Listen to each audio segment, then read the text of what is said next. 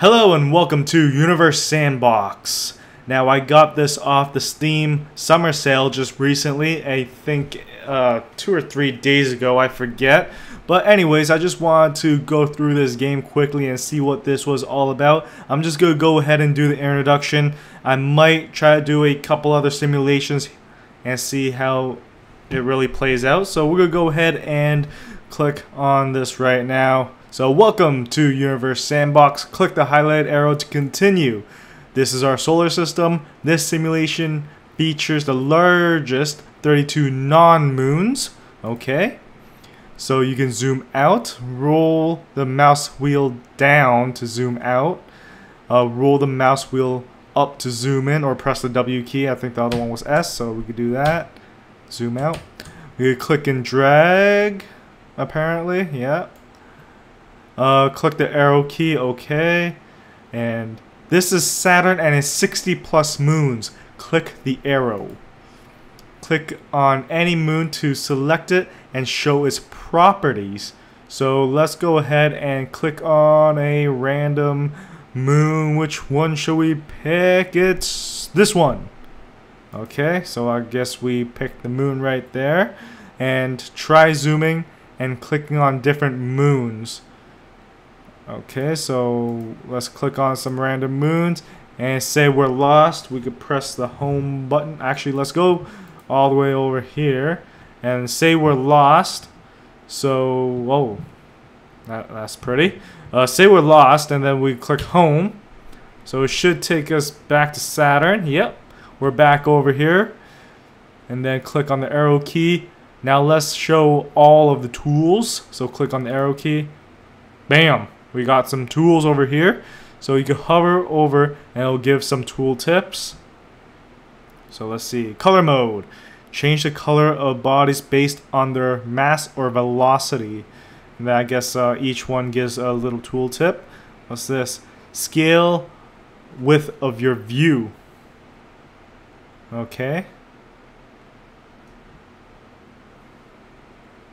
Now let's see. Let's try our chart mode. Click on the chart button. Chart mode lets you...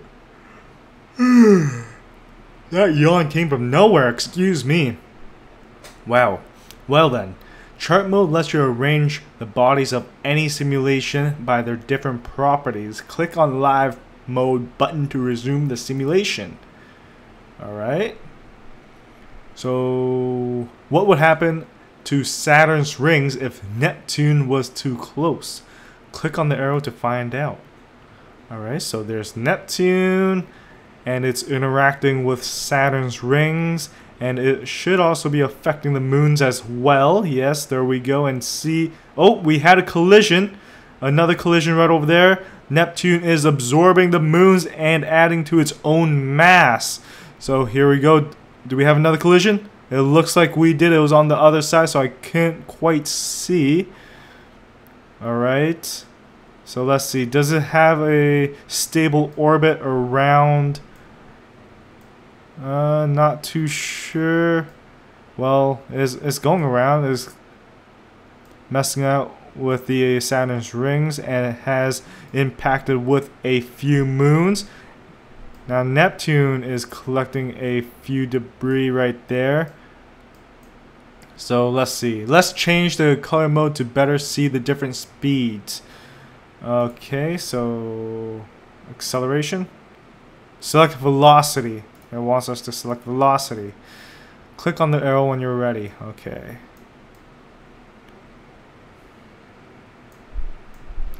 So I guess red it means it's moving quickly. I could only assume.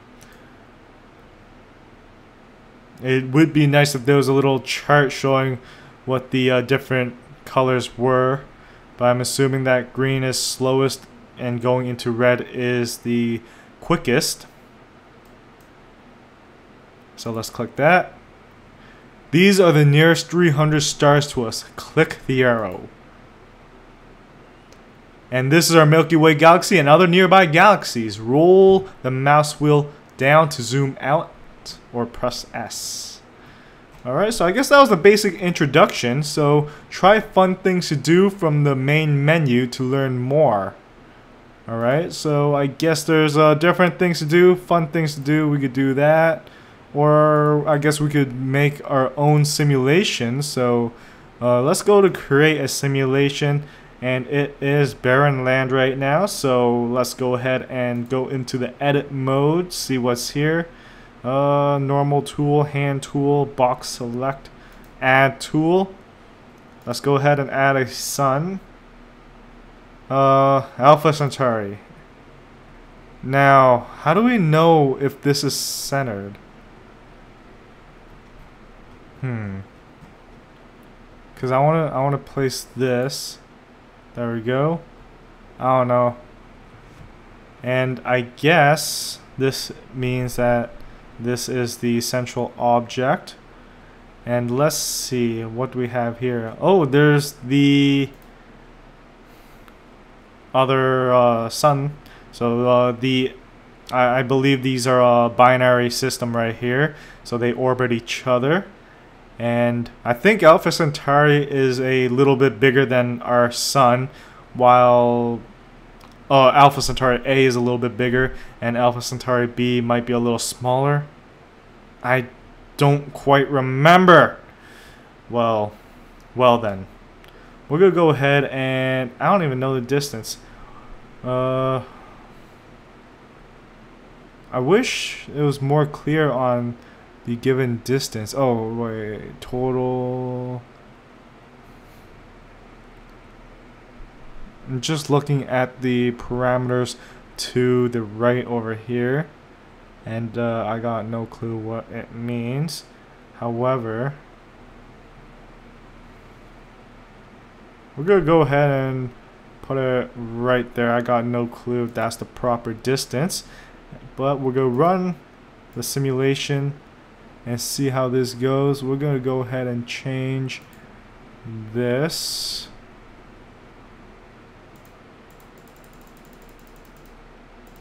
So this should make it go a little bit faster, right? Um, one hour. There we go. Look at that. That's pretty cool. So I guess uh, depending on how many things we have, I guess we could keep on adding things uh, as the simulation runs.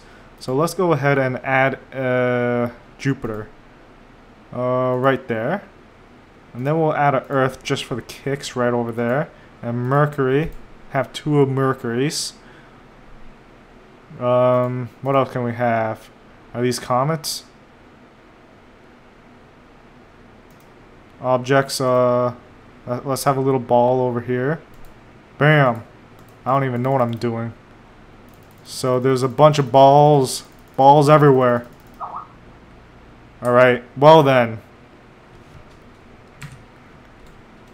This is...